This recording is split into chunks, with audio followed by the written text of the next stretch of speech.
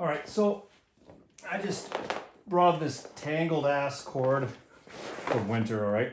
We're using this cord to plug in cars, so and it's never been really treated properly. I inherited this cord from my uncle, so you see how it doesn't really want to form a loop. Okay, so I untwisted it there, and I'll twist it again. And the reason for this video is I want to untangle this cord, right?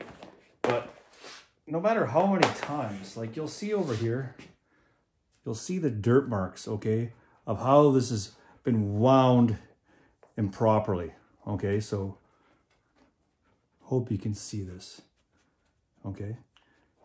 Now, there's many ways that you could do this, but I'm gonna just show you how, see how it's kind of bunching up? So I'm just kind of trying to unwind it. All right, that looks okay. And like, just like that, all right? So it's been outside all winter. I use this cord to plug in my car. And so now I'm just gonna unwind it. And see how it wants to bunch. So I'm just gonna try to untangle it as best I can. Like, there you go. And I've tried just about every method to wind up cords. Now, I'm not the only person that winds up cords in this house, so all of a sudden I'll see a whole stack of cords from the winter or whenever just kind of laying in the garage, okay? So I'm gonna take this and I'm gonna hang it up and I'm going to try to warm it up. Like it's nowhere near summer, all right? Ultimately, I love to toss this in the backyard and stretch it out in a nice plus 20, plus 30 summer day, but this is what I do in Saskatchewan. Let's get to it.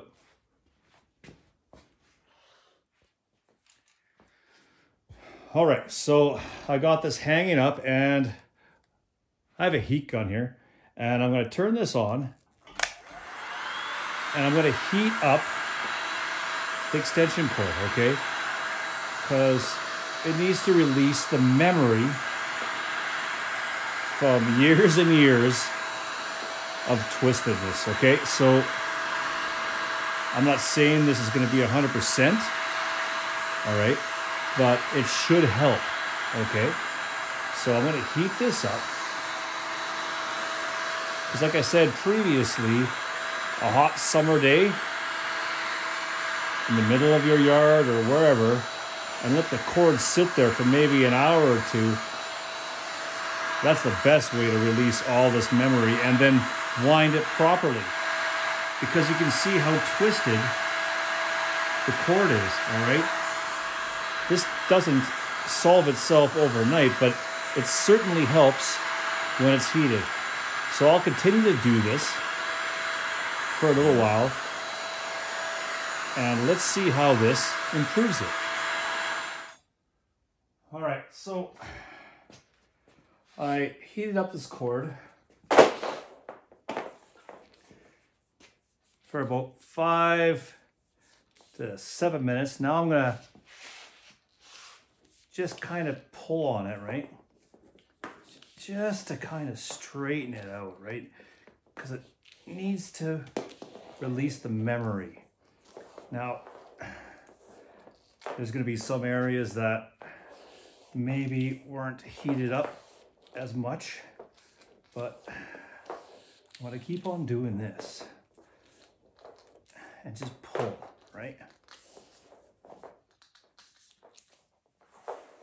just like this. And I hope this is coming out on video.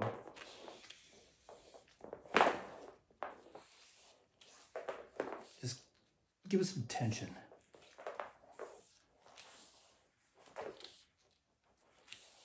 Because it's stretching out the casing of the cord, okay? So hopefully this does the trick. Ooh, that's getting hot on the hands. All right, let's see.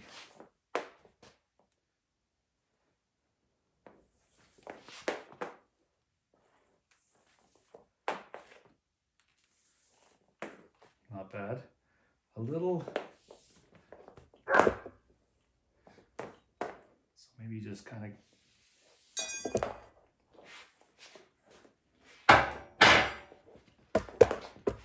So maybe just like this. Not too bad. And I'm kind of still twisting it as I go. Right? So that's kind of bunching right there. And it's not perfect. But this is going to be an ongoing process. So this is much better than it was before.